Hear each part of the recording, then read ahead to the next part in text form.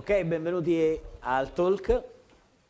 E cercheremo di non annoiarvi troppo. È una prosecuzione dei vari talk che abbiamo fatto negli anni. Eh, praticamente siamo al Codemotion da, da quando era Java Day. Day.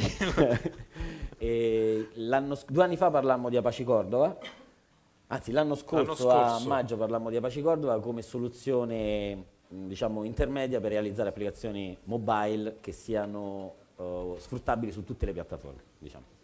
L'anno scorso, sempre al Codemotion, però a Milano, abbiamo affrontato il discorso successivo, cioè come connettere queste applicazioni che sono multipiattaforma a un mondo di back-end, quindi utilizzando la parte API.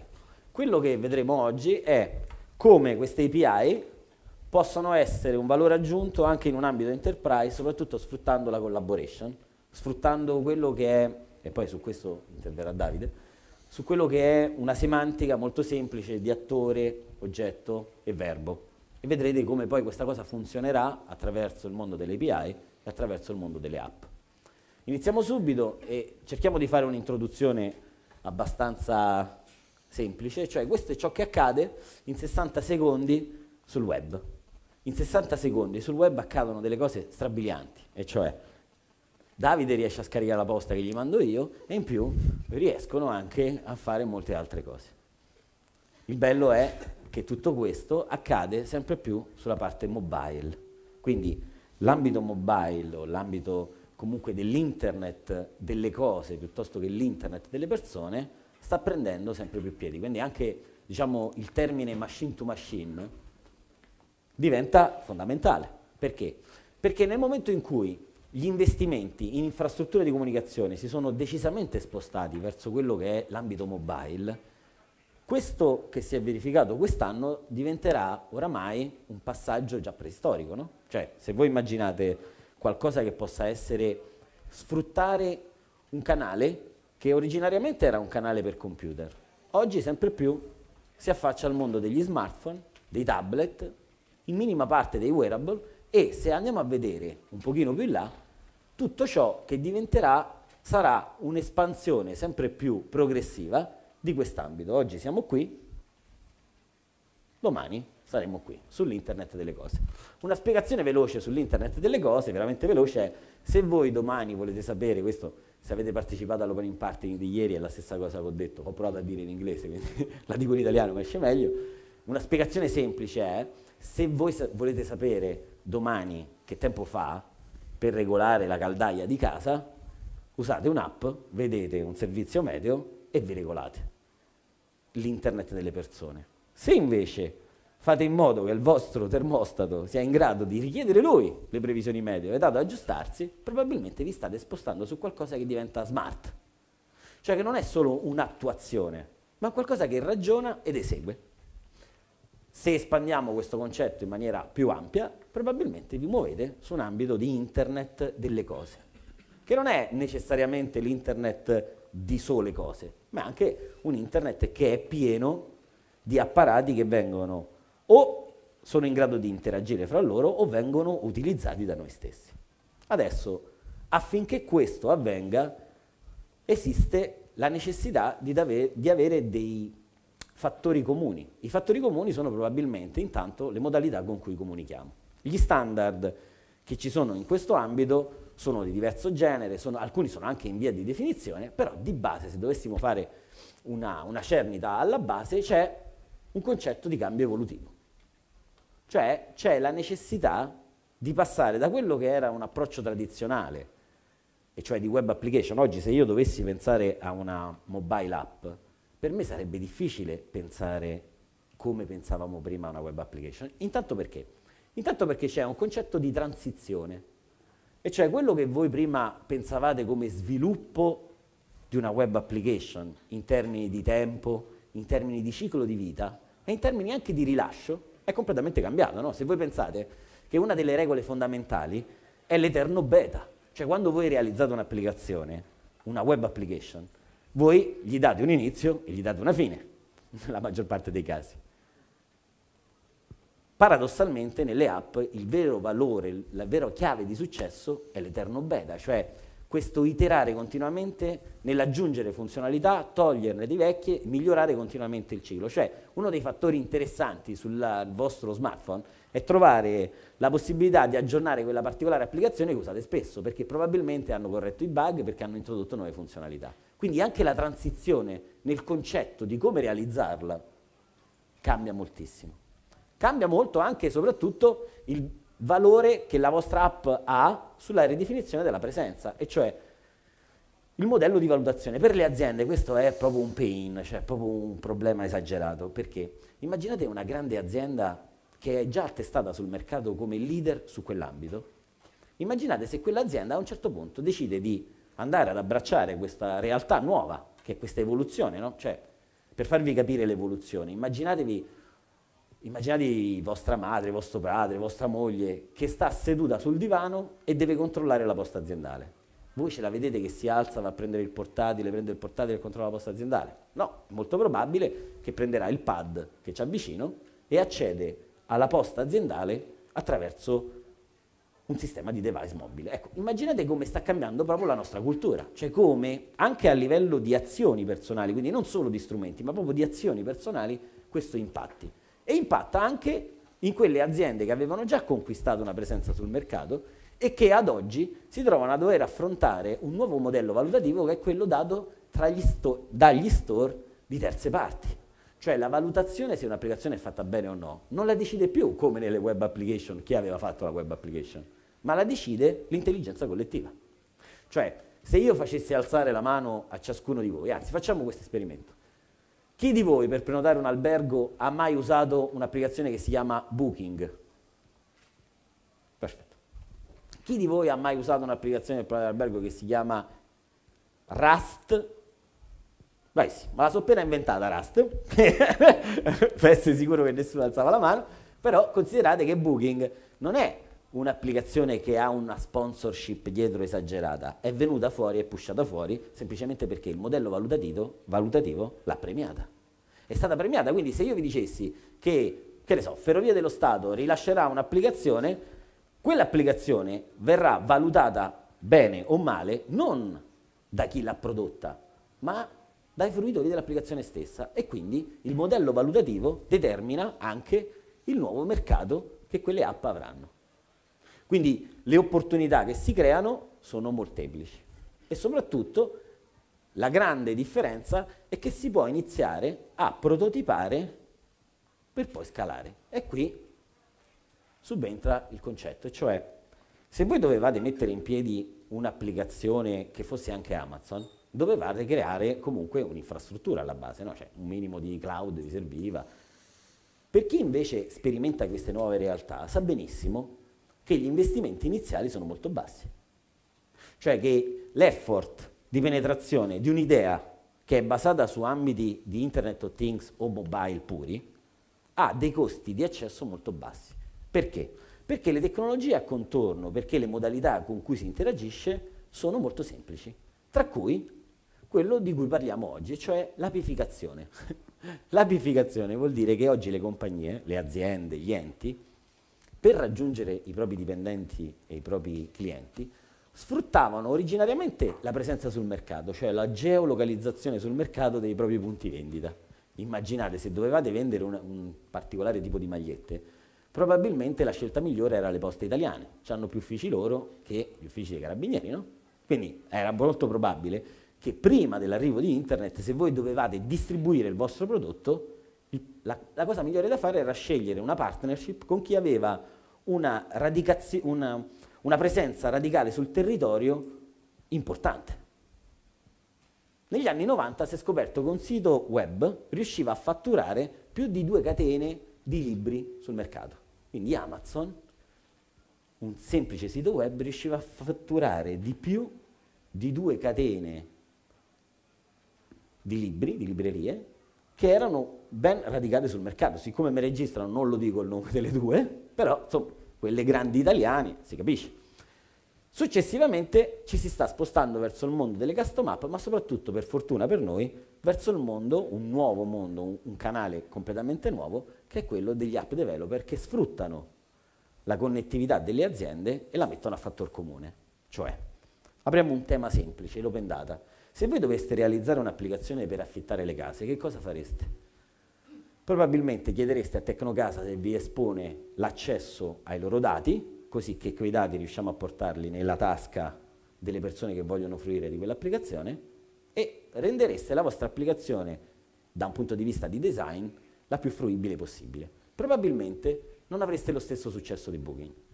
Perché? Perché manca quell'idea di utilità. L'idea di utilità dove sarebbe? L'idea di utilità sarebbe intanto analizzare che cosa serve. Se io devo affittare casa, è vero che mi serve sapere quanti vani c'è, quanto costa e in che posto sta, però ci sono molte altre informazioni che posso sfruttare, che sono ad esempio se ho dei figli, se i miei figli vanno a scuola, che scuola fanno, se io vado in piscina, se ho una moglie, che tipo di sport fa, tutta una serie di informazioni che determinano la mia qualità di vita. Quindi immaginate se l'open data, le API esposte dal Comune di Roma, venissero utilizzate insieme alle API esposte da chi affitta case e io farei un'applicazione che non ti chiede quanti vani vuoi, ma che tipo di qualità di vita hai e quale tipo di qualità di vita ti aspetti. Secondo voi questa applicazione avrebbe la stessa opportunità o no di venire fuori come Booking rispetto a Rasp, cioè adeguarsi non è sempre la scelta migliore, ma pensare oltre sì. L'abilitazione a questo sono le API. L'apificazione oggi passa attraverso questi aspetti. Gli aspetti principali, maggiormente affrontati oggi, sono la UTH 2.0, JSON e REST. Quindi nel momento in cui io ho la necessità di realizzare un'app mobile utilizzando ad esempio Cordova o utilizzando anche codice nativo, la modalità con cui io prendo i dati e li sposto nella tasca della persona o prendo i servizi e li rendo disponibili nella tasca della persona sono delle modalità che oramai sono abbastanza consolidate, e cioè l'utilizzo delle API e quindi devo affrontare queste tematiche. Necessariamente devo affrontare questi tipi di tematiche. Queste tematiche oggi sono tematiche che probabilmente vengono indirizzate o da librerie che sono già presenti sul mercato o da dei framework che ci danno anche un supporto da un punto di vista di sicurezza, di affidabilità, di scalabilità. Però il vero concetto importante su cui noi dobbiamo andare non è l'implementazione tecnica di come io espongo o utilizzo un API, ma di che valore aggiunto mi dà. Cioè, se vi ci porto perché poi quando passo la palla a lui diventerà complicatissima la cosa, quindi se adesso vi sembra semplice, poi quando passa a lui è una roba. Quindi se io comincio a pensare al mondo API come fattor comune per comunicare. Comunicare vuol dire non, semplici, non, non stare davanti al PC e aspettarmi che mi arriva il push dal server per avere l'informazione, ma semplicemente prendere l'informazione e spostarla nella tasca, che è completamente differente. La settimana scorsa facevo un corso a dei ragazzi di terza superiore e gli chiedevo se utilizzassero ancora Messenger di Microsoft. E lui mi ha fatto, sì, vabbè, ho detto, ma sì, io mi ricordo i tirannosauri e il Messenger. Ho detto, ma adesso usiamo Whatsapp, poi mi hanno detto un altro paio di nomi che erano troppo avanti per me. Però l'idea qual era? Cioè, qual era il loro concetto? Il loro concetto era non un problema tecnico.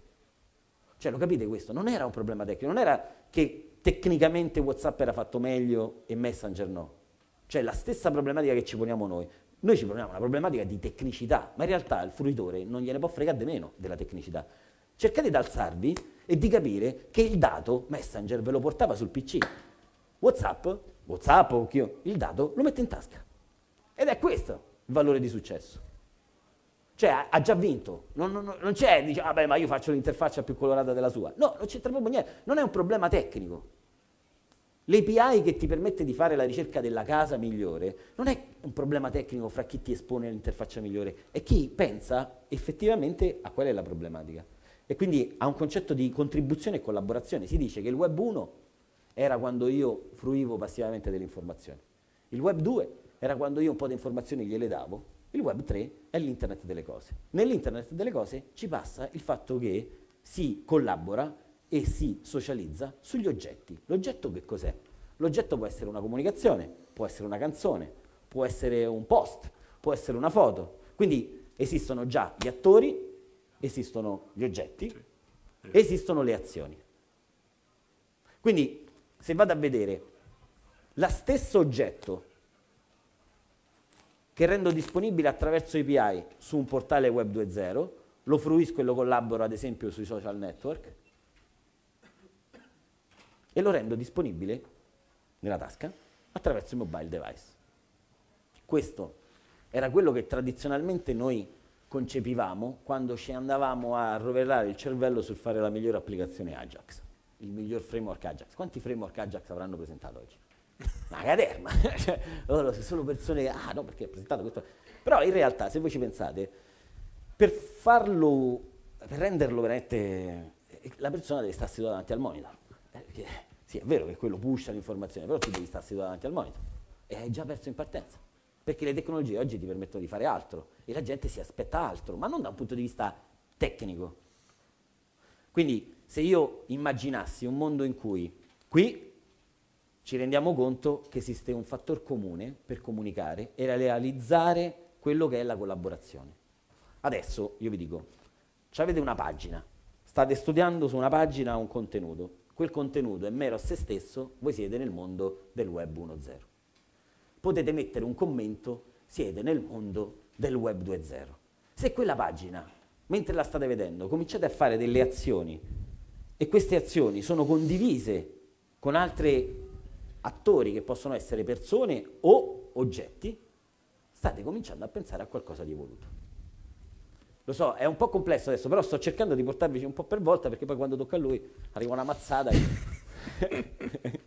Quindi immaginate la fruizione di questi ambiti diversi, sulle diverse realtà, no? su quelle che abbiamo visto prima, e anche sulle realtà di sviluppatori di terze parti. Che vantaggi danno? Vantaggio principale, builda un ecosistema, un hackathon, normalmente che cosa fa? Milano, comune di Milano, ha fatto una cosa fighissima, app for me, app 4me, cioè ha detto io ho delle API, ho 500 euro, a chi fa la migliore app gli do questi 500 euro. 20 applicazioni fatte, un'applicazione premiata, win-win.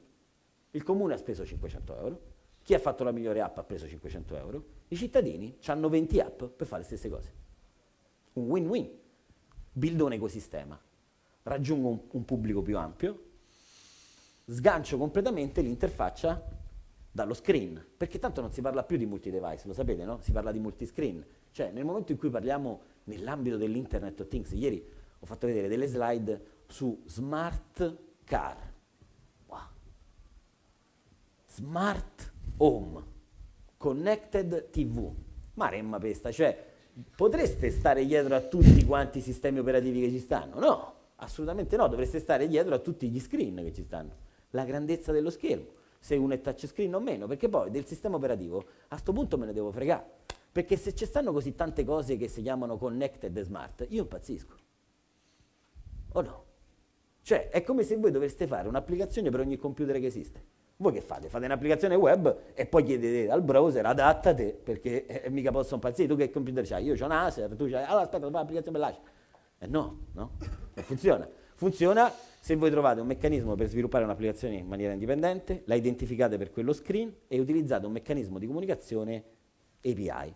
Quindi sganciare l'interfaccia, esternalizzare la ricerca e sviluppo. Immaginate le aziende quanti soldi faranno con questa roba, e cioè esternalizzare la ricerca e sviluppo vuol dire semplicemente che io posso prendere un'API, renderla disponibile e chiedere all'intelligenza collettiva, cioè facciamo un esempio pratico. Un esempio pratico è, se io avessi dei dati e dei servizi da mettere in tasca alle persone per farci i soldi, non la farei io l'applicazione. Non la farei assolutamente io. Radunerei un popolo come voi e direi, metto in palio 2.000 euro, 5.000 euro, 10.000 euro, quanto sarebbe il mio investimento, a chi mi fa la migliore app. Io metto a disposizione i dati e i servizi. La migliore app ha la chance di essere realizzata non necessariamente da me. Perché la migliore app è solamente l'interpretazione finale della user experience che l'utente vorrà. La cosa veramente valida è il servizio che gli diamo, il dato che gli diamo. Cioè, il vero valore aggiunto non è l'interfaccia di WhatsApp, ma è la modalità con cui gli utenti oggi sono stati abituati a comunicare. Prendo in esempio WhatsApp, ma potrei dirvi mille altre applicazioni che funzionano perché? Non perché è l'interfaccia che è stata costruita bene, o solamente, ma perché i dati e i servizi che rendono disponibili sono di così tanto valore aggiunto che fanno la differenza.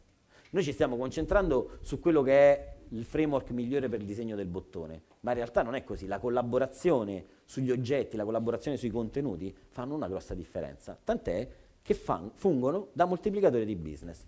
Proviamo a darci un'occhiata un po' più da vicino, e cioè proviamo a vedere come un'API in un ecosistema funzionante sfrutta questo, che per grandezza è la sua importanza, nell'ambito di community e di collaboration. Torno a ripetervi un concetto fondamentale. Immaginate un oggetto, un oggetto, maremma, un oggetto qualsiasi. Immaginatevi un banco, o immaginatevi questo talk, un oggetto che abbia delle azioni. E queste azioni sono veicolate da degli attori. E gli attori sono nell'ambito di una community.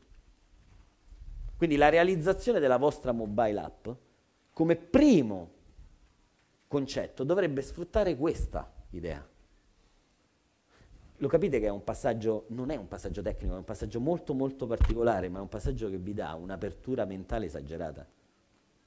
Perché utilizzate una, una semplice semantica no? per farlo. E se voi, una delle cose che vi anticiperà Davide, è mettere a fattor comune i successi di quelle aziende che si sono trovate in piena new economy.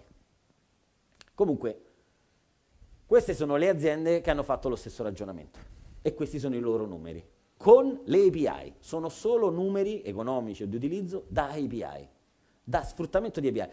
Sembrano poche, ma in realtà non c'entravano tutte e abbiamo provato a metterne solo alcune. E vi abbiamo, vi abbiamo portato anche un caso d'uso concreto da vedere che vi dà più o meno un'idea di cosa stiamo parlando. Proviamo a vedere la BBC che ha un canale dedicato ai developer esagerato. Ha un framework, una piattaforma di sviluppo esagerata dedicata solo ai developer. Cioè ha pensato, la migliore applicazione della BBC la posso fare io che sono la BBC, ma è molto probabile che nasca dall'intelligenza collettiva. Miglior utilizzo. Quindi ha, ha lanciato alcuni programmi, uno dei programmi più fighi nell'ambito dei developer è l'ambito della radio. Quindi nell'ambito radio BBC.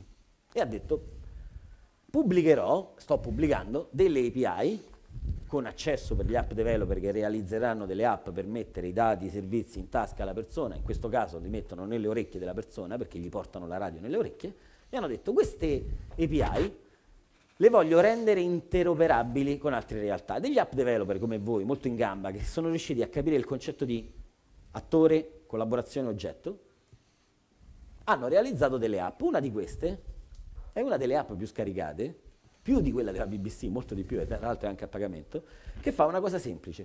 Prende queste API della BBC e le mette insieme alle API di Spotify.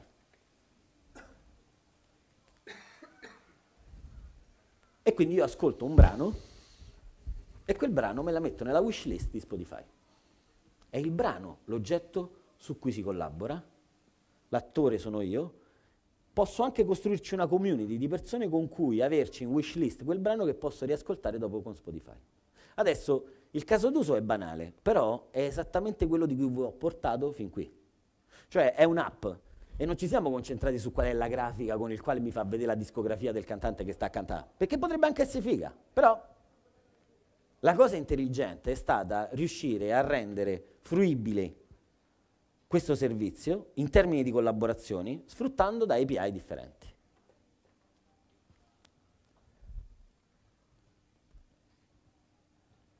Passo la parola a Davide, sono fatti i vostri. Grazie. Allora, qualcuno ricorda i tre temi eh, del, dello sviluppo delle API? Quali sono i, i tre? Il primo, la, la prima uh, framework, la prima, qual era che avevamo citato prima per la sicurezza, per... Uh, oh, esatto, quindi su, uh, sfruttando solamente questi tre standard, queste tre caratteristiche, noi riusciamo a creare un mondo social. Vediamo prima che cos'è il, il, il mondo social da un punto di vista aziendale. Perché questo? Perché in realtà l'abilitazione social ha avuto prima un grosso fermento intorno al 2009 a seguito del boom e del crollo uh, della internet economy. Uh, si è fatto un discorso ritroso e si è detto ok, vediamo che cosa, qual è il vantaggio competitivo che hanno avuto le aziende che sono sopravvissute. Il vantaggio competitivo era uh, il social, era il, uh, il permanente in beta era la possibilità di avere accesso con delle open API. Quindi le comunità che si vengono a creare sono soprattutto online che utilizzano questi strumenti di uh, Auth 2, uh, eh, REST e JSON per crearsi e per condividere uh, azioni. Laddove poi invece le comunità offline le comunità tradizionali utilizzano altri metodi di aggregazione, cioè eh, utilizzano oh, eventi fisici che si, si, verificano in luoghi fisici e in posti specifici. Ora, quello che però si è visto è che rispetto de, a, alle aziende che hanno avuto successo, in realtà qu- questo discorso a posteriori di abilitare il social ha una fortissima valenza all'interno dell'azienda. Cioè all'interno dell'azienda ci sono sostanzialmente dei divide, de- delle barriere, dei gap che possono essere colmati abilitando delle funzionalità social. Secondo voi qual è diciamo, il problema principale dei social network che noi abbiamo adesso? Qual è l'elemento proprio che è un ostacolo che ci dà una... cioè non, sul quale non possiamo uh, uh, an, diciamo, oltrepassare per esempio dei social network tradizionali. Qualcuno ha... Questo diciamo, e poi cioè, è un problema che nessun eh, nessuno strumento potrà sorpassare. Dal mio punto di vista è, il, eh, è la monoliticità, cioè non sono peer-to-peer. Io non posso separare una parte e prendere i contenuti che mi riguardano, il mio social graph, e eh, riprodurlo in un altro ambiente. Però in un ambito aziendale questo può essere molto utile, perché io posso, per esempio, avere un repository di tutti gli artefatti aziendali ed esporlo verso uh, gli utenti con delle modalità social, cioè delle modalità di collaborazione che sono proprio dei social network. E allora come faccio? La, uh, la, la, l'elemento fondamentale, noi sostanzialmente lavoriamo su degli stream di contenuti. Lavoriamo su degli stream di contenuti, quindi so, quelli che possono essere anche dei feed che voi estraete da un, uh, uh, da, da un, da un repository di contenuti, però cerchiamo su questi feed, su questi stream di contenuti, di crearci una rappresentazione semantica di quello che è l'interazione. E questa rappresentazione avviene tramite proprio il, l'attore, il verbo, l'oggetto e eventualmente un contesto. Ora, uh, il, uh, l'aspetto, l'attore viene modellato con un JSON, quindi con un oggetto JSON che uh, sostanzialmente rappresenta la, la, le sue informazioni, i suoi dettagli nell'ambito uh, nell'ambito del, del, contesto social su cui sta lavorando. Il verbo è l'azione che lui fa. La, la cosa interessante è che uh, in ambito social si collabora condividendo un oggetto. Cioè, noi non lavorate portando a braccetto una comunità, ma facendola crescere all'intorno di un oggetto condiviso. Quindi io condivido una foto, quella foto diventa l'elemento sul quale poi si crea la comunità e il, il, uh, uh, il contesto sociale. Qui, l'oggetto è quindi l'elemento che rappresenta per esempio l'immagine condivisa all'interno di un, uh, di un contesto sociale. Come vedete sono delle cose estremamente facili, cioè è una rappresentazione uh, sch- uh, schematica di una collaborazione per tripette. Il target è sostanzialmente costituisce il contesto, cioè io condivido, aggiungo un oggetto all'interno della mia rappresentazione, mio, del, uh, del, mio container. E questo è invece il, come viene, viene, veramente implementato all'interno del mondo dei social network. Cioè, questo che vi ho descritto oh, in precedenza è implementato da Twitter in questo modo, con questo attore e la, questo è l'attore, per esempio, de, cioè dell'aggiunta di una mia immagine uh, in un post per Twitter. Ora, come si chiama questo framework? Che è, diciamo, quello che voi poi vedete rappresentato in Twitter quando leggete la, uh, l'elenco delle attività, è appunto un activity stream. Attivi- nell'activity stream sono codificate le modalità di interazioni diciamo, più tradizionali che potete individuare e gli oggetti, quindi oggetti uh, e verbi all'interno della uh, collaborazione social. L'Activity Stream è un uh, framework che è nato nel, intorno al 2008 ha avuto un boom nel 2009 e poi è rientrato in un ambito più ampio che quello dell'open social. Qualcuno ha mai sentito questo termine? L'open social ha questa ambizione di smembrare gli aspetti social e di renderli uh, separati in tanti standard diversi. Quindi non più un unico standard, un'unica applicazione monolitica, ma n applicazioni, n contesti diversi e quindi fa uno sforzo maggiore per individuare quegli elementi comuni che possono valere per tutte le interazioni social. Quindi come, e, e cerca di estrarle e individuarle precedentemente. Naturalmente, secondo voi, qual è un, uno dei primi degli uh, uh, implementatori del, uh, dell'open social? dove potreste trovare degli activity stream open social? Stack Overflow è uno dei primi, ancora, sempre, ancora più vicino al codice, però... GitHub.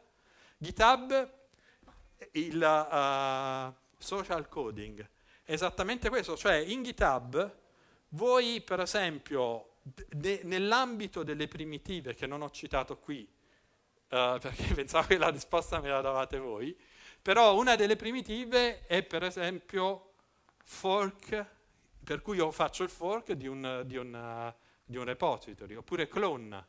Cioè, quindi le, le, non, non immaginate le primitive di interazione social come solamente share oppure post, ma anche delle azioni fatte su un repository.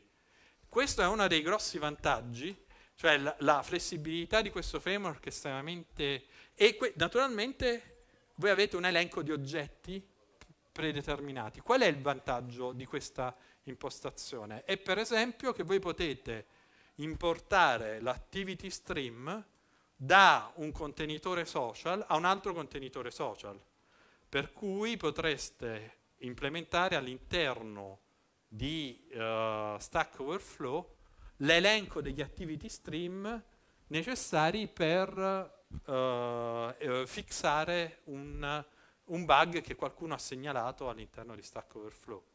Una cosa che per esempio fa Salesforce.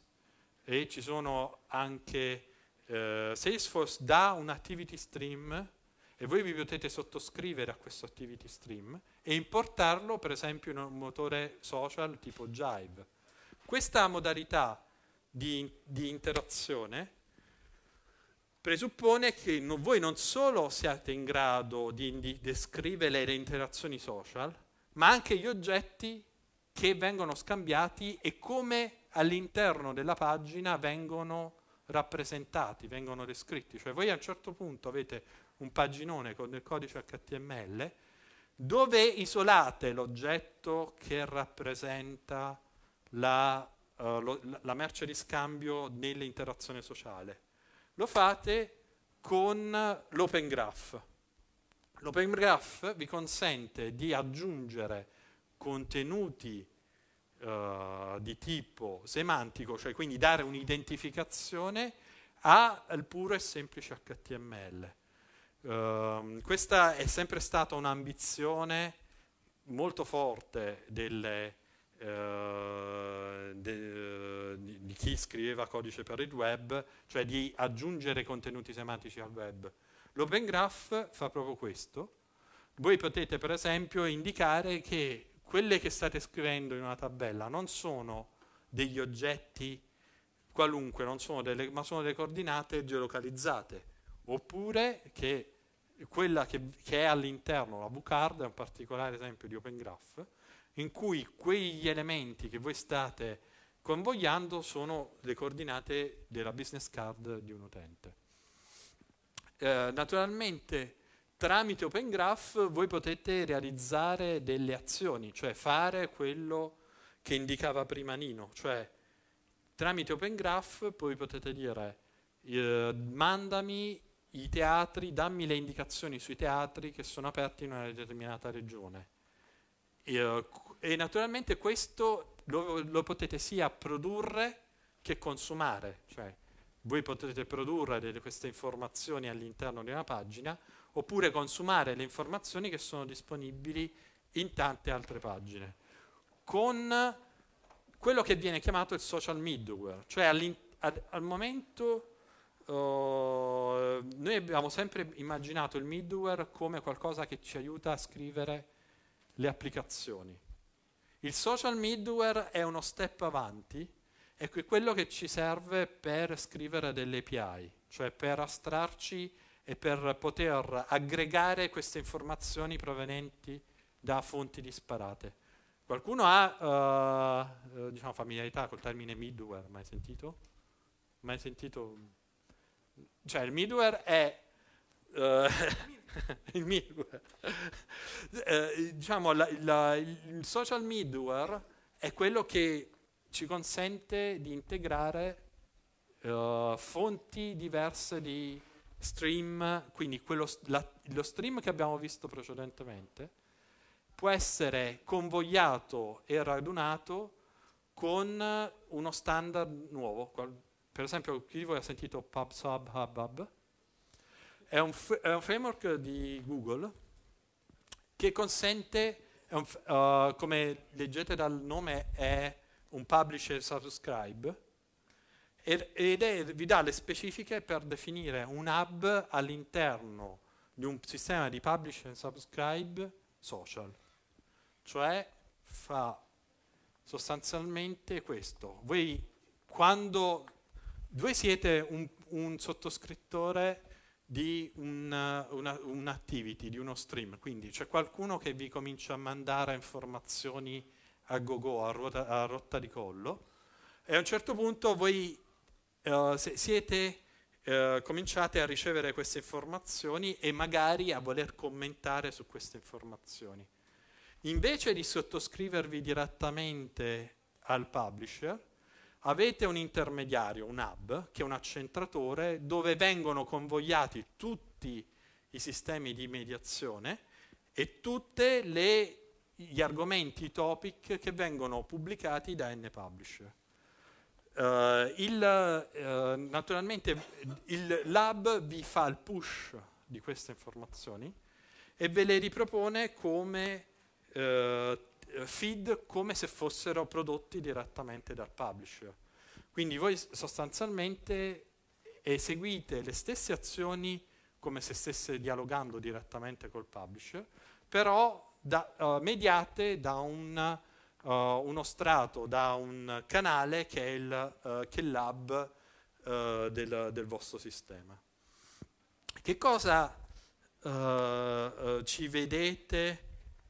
Di, quindi questo è un protocollo estremamente vantaggioso, estremamente utile, è un publish and subscribe, però ha un particolare fault, un particolare elemento di, di difficoltà, ed è quello che poi viene usato in tanti elementi social ed è, richiede una enorme mole di elaborazione.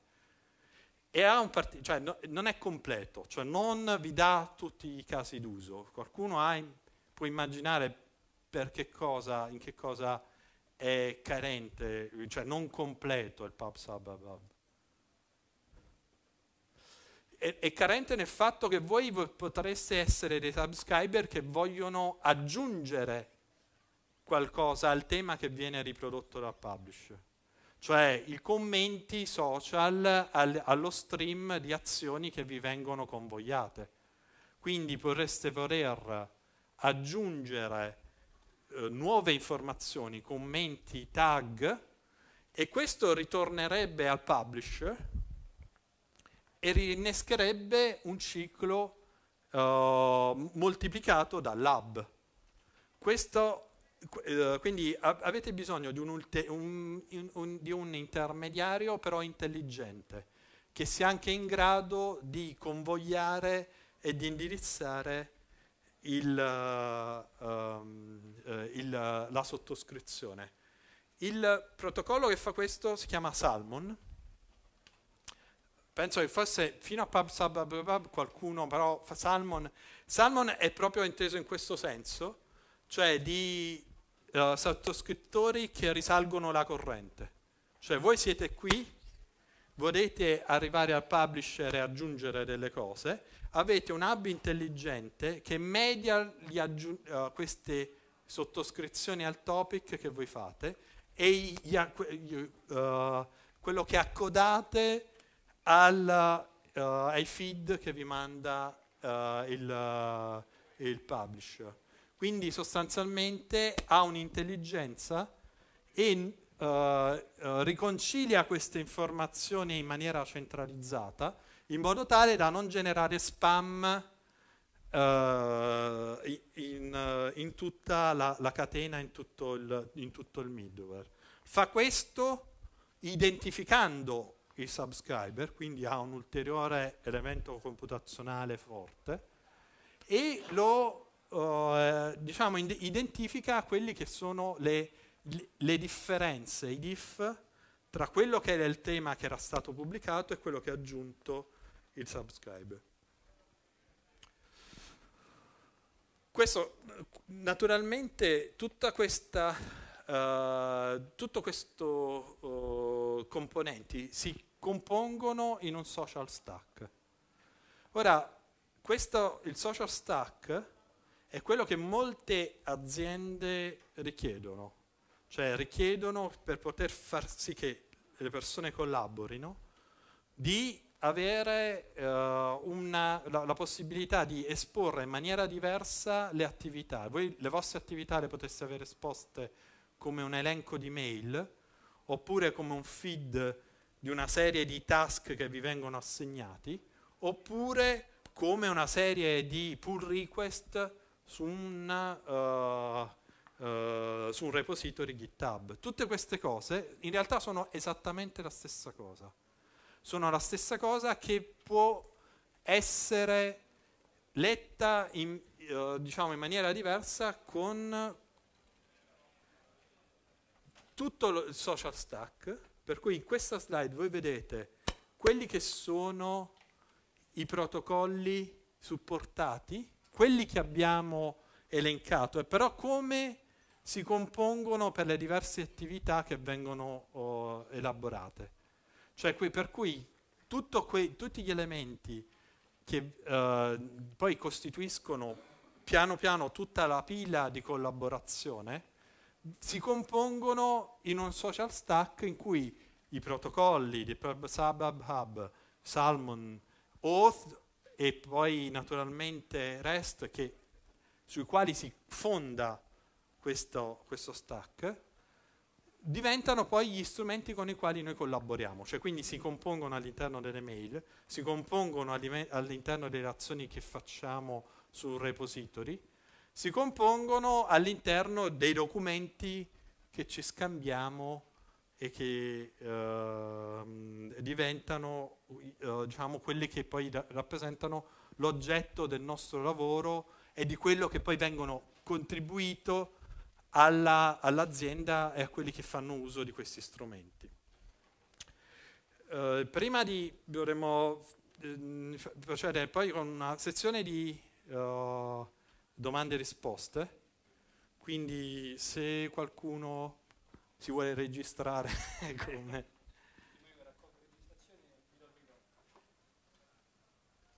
Ci sono domande? So che è stato difficile questa parte qua, ve l'ho detto, eh, ma io ve l'avevo detto che era difficile.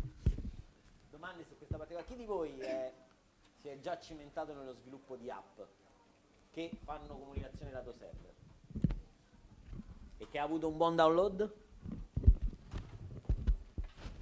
Oppure che ha avuto un medio download?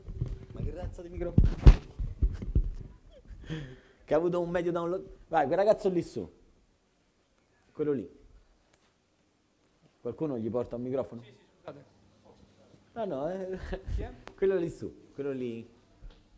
Ecco, proviamo a vedere. Intanto cerchiamo anche di snocciolare il concetto. Vai.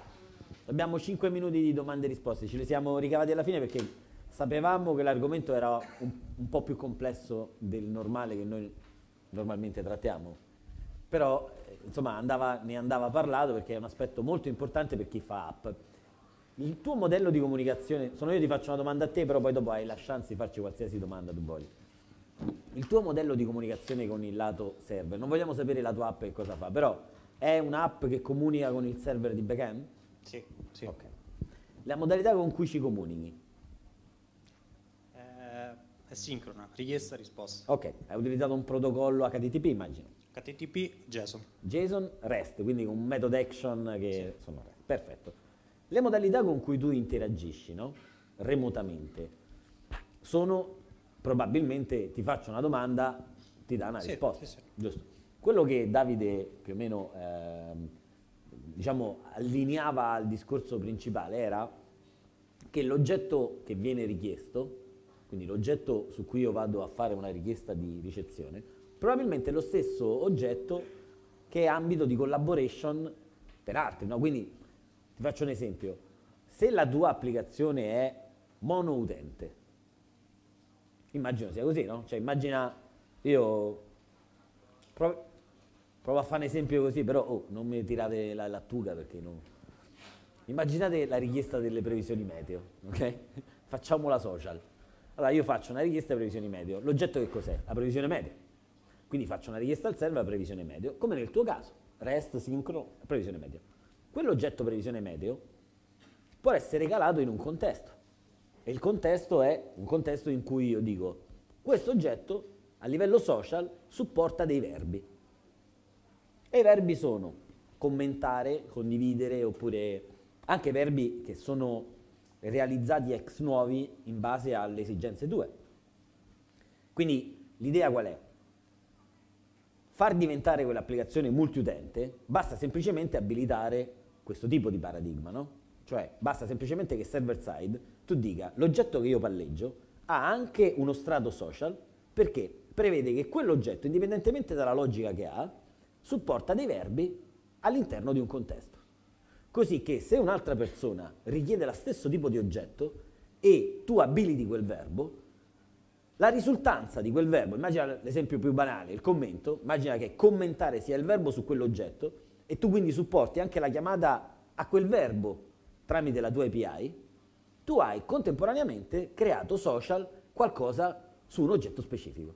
Però nel caso semplice ci viene banale pensare ai commenti, no? perché la maggior parte dei, dei social network utilizzano commenti, però come faceva notare Davide, è il contesto che determina che cosa è social. Per esempio in un contesto come GitHub, il contesto potrebbe essere fork, potrebbe essere clone, però nel contesto della tua app le- i verbi che tu potresti utilizzare per rendere collaborativo l'oggetto che tu palleggi sono tutt'altro.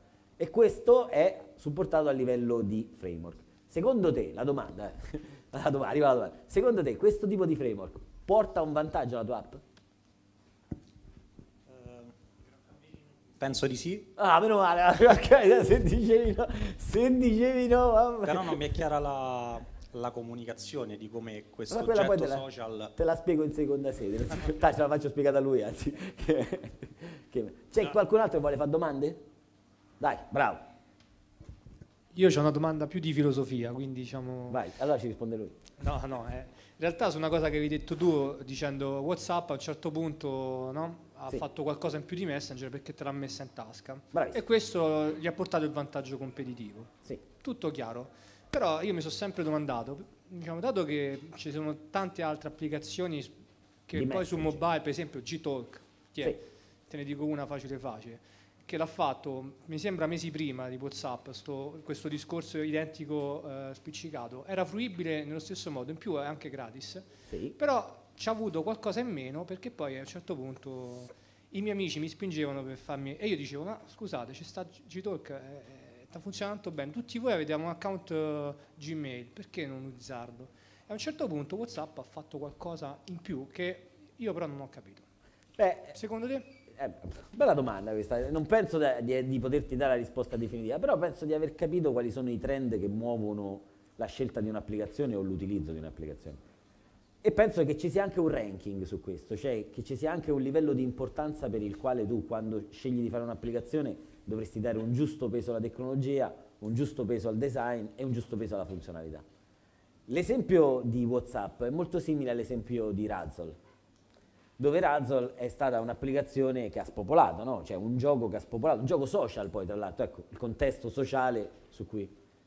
Ecco, il concetto di Razzle era probabilmente quello di semplificare l'accesso a quell'informazione e all'utilizzo, quindi il driver principale era la user experience che quell'oggetto forniva. La user experience è anche quello che poi rappresenta più o meno la barriera fra chi è utilizzatore e chi fornisce il servizio. Quindi nel caso di WhatsApp, così come nel caso di Razzle, una buona idea legata a una semplicità di utilizzo ne fanno la chiave di successo. Questo non vuol dire che Gtalk non fosse altrettanto semplice da utilizzare, ma che le modalità, anche a livello di pushing di informazioni, quindi anche a livello di marketing, marketing che può essere anche minimale, cioè come presenti un'app, che tipo di video dai dell'app, che tipo di sponsorizzazione ti ho registrato, ti ho messo in public subscribe, che tipo di... Probabilmente questo è un peso che per questa tipologia di applicazioni fa la differenza, però non è una chiave di lettura univoca per tutte le app, perché per esempio io ho realizzato un'app, ne ho realizzate diverse, una delle app che ho realizzato non mi aspettavo avrebbe avuto così tanto successo, in realtà ha avuto molto successo ed aveva un alto rating di download a pagamento. Quindi non è possibile. Cioè, eppure effettivamente in quel caso c'è stata una sorta di alchimia. Avevo studiato, avevo fatto i compiti a casa per capire in quell'area che tipo di pesi potevo dare alle varie realtà, user experience, funzionalità, tecnologia. Però non pensavo avesse avuto una così, un'esplosione così importante. io provo ah Sì, scusa vai, vai. mm, forse l'unica cosa differenza che ho notato è che diciamo Whatsapp si appoggia sui numeri telefonici e quindi è come se in realtà io pensavo che il bacino d'utenza di Gmail fosse praticamente invincibile, però effettivamente quello del numero telefonico è ancora È più grande. superiore, quindi tu dici la comunità E quindi a un certo punto uno, anche se non aveva un account eh, Gmail, comunque poteva accedere facilmente, bastava registrarsi e... col numero di telefono. Ma questo non lo so, sai perché? Perché nel caso di WhatsApp c'era un grosso limite, tant'è che la gran parte delle mie amicizie che non erano informatiche mi chiedevano se potevano craccare WhatsApp sui pad, perché se non avevi un numero assegnato non potevi usare WhatsApp. Risposta sì, ovviamente. Eh, sì, poteva craccare, no? Però, quindi è molto probabile che quello rappresentava un'enorme barriera per loro. Avrebbero potuto liberalizzarla questa cosa, no? Però non l'hanno fatto. Quindi, secondo me, sì, il concetto del bacino di utenza è un concetto importante, però non era, secondo me, il driver principale, perché se loro avessero sfruttato quello come driver principale, avrebbero fatto l'unlock, avrebbero dato l'opportunità anche a chi aveva device che non avevano un seriale assegnato di andarci. Vai, scusa. da- no, Vai. poi in realtà era quello che, Vai, vai, che ok. diceva anche lui. Sì. Secondo me non, non avrebbe aumentato la possibilità, perché la forza di WhatsApp stava nel fatto che tu la installavi ed era pronta, non ti dovevi registrare, non dovevi mettere l'email, lo user Gmail Quindi Google, dici che la password. più semplicità nel creare l'account. Esatto, per metterla su un pad qualche processo di registrazione lo dovevi fare per forza, non potendo Beh, sfruttare aspetta, l'email. o- Però se non sbaglio, se non sbaglio, mo è tanto che se non sbaglio WhatsApp ti mandava una one time password, che era una, una password generata randomicamente una volta che dovevi inserire almeno per una volta. Quindi c'era un'operazione di registrazione. Ok, non la ricordavo neanche io, fatta anni No, fa. scusa, eh, ho dovuto dare fondo al mio ricordo, però l'ho tirata fuori. Ma era una password che ti per aveva hackerare, via gli sms, immagino. Era una password, sì. È era- comunque uno strumento molto più immediato e semplice per Comunque, chi ha un telefono. il concetto è la semplicità e quindi era uno dei driver, la semplicità, probabilmente la semplicità applicata non solo all'utilizzo dell'applicazione ma anche probabilmente alla registrazione, all- all'entrata in quella community. Io, eh, se avete altre domande, domande sulle API, su- altre domande di qua? Eccola, c'era lui, lui c'era una domanda qua. Aspetta, eh, se no non sentono gli altri. Cioè, secondo me non ho mai ancora lavorato in ambito... Mobile. Cioè, mobile sì, ma non in ambito social, non... non- Sì, però social, attenti, perché il concetto che noi abbiamo voluto far passare è che social, scusate mi permetto di Sì, sì, chiarire, sì. eh, social non è necessariamente commentare, postare, taggare, social è qualsiasi verbo tu voglia applicare su un oggetto che condividi. Sì, sì, sì. lui fa le previsioni meteo, mo non le fa le previsioni meteo, però lo so, però lui fa le previsioni meteo. Immaginati dei verbi che tu puoi affiancare a quell'oggetto che palleggi che lo rendono social rispetto a una community che può essere un'azienda o può essere una community. Cioè, se tu fai un'applicazione per un'azienda e vuoi che quell'oggetto in quell'azienda sia in qualche modo legato a un contesto, che ne so, un piano, un'area di business, una- un, un tipo di prodotto particolare, e tu su quello gli applichi dei verbi, indipendentemente da quello che l'oggetto fa. Quindi l'oggetto fa operazioni CRUD, cioè legge, scrive, cancella, aggiorna, ok? Quindi tipiche operazioni CRUD. su quelle operazioni CRUD tu gli vuoi applicare una immaginati ecco, immaginati il versioning, il versioning delle persone, il verbo è versiona e l'attore è la persona che lo versiona. Quindi quando tu lo modifichi, gli applichi un verbo e aggiungi anche l'attore che l'ha versionato. E su questo in realtà tu lo puoi fare in un determinato contesto, quindi puoi creare un versioning in un determinato contesto per quel tipo di oggetto. Quindi i verbi che puoi tirare fuori, vabbè, mi sono infervorato, vai, scusa. Vai, Però la diciamo- domanda, vai la domanda.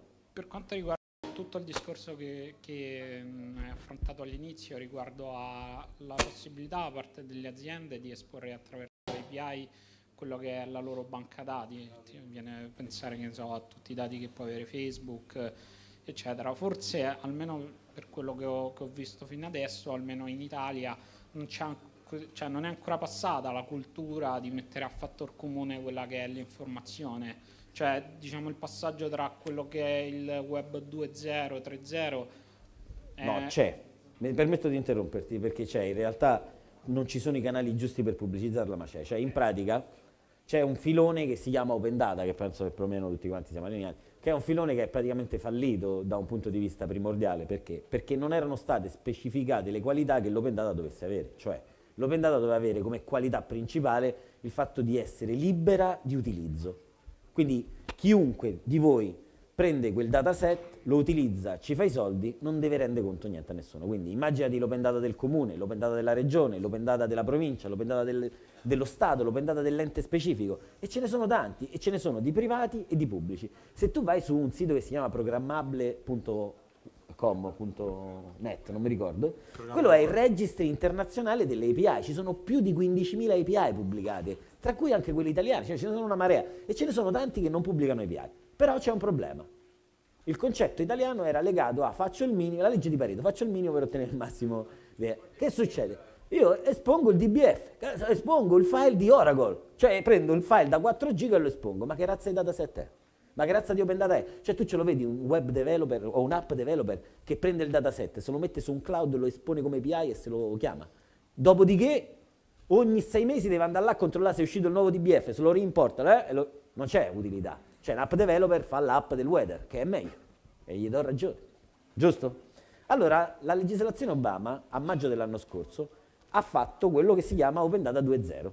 Cioè ha, de- ha dettato le regole del nuovo Open Data. Tant'è che c'è un progetto su GitHub, proprio dell'amministrazione americana di Obama, su cui ci sono anche diversi strumenti di compilazione delle API, di produzione della documentazione delle API, veramente interessante, che ha specificato altre due qualità. Cioè, tra le qualità che aveva già messo, la gratuiticità, bla bla bla, ne ha messe altre due. Sì, tu vai sul progetto, le vedi, sono state inserite, che sono timely e managability. Cioè, deve essere in tempo reale e deve essere gestito. Cioè, mi devi esporre un API e non un dataset, e soprattutto quell'API deve essere veritiera rispetto al dato che tu hai. E quindi gran parte delle API che oggi tu puoi trovare in circolazione, almeno negli Stati Uniti, se tu vai, se ti capita, se mai ti capiterà di andare su opendata.gov USA, troverai in prima pagina un banner con scritto Request an API, cioè chiedono agli app developer quali tipi di API vogliono che l'amministrazione americana metta a disposizione. Perché? Perché la, l'idea migliore non ce l'ha chi fa l'app, ma chi la commissiona.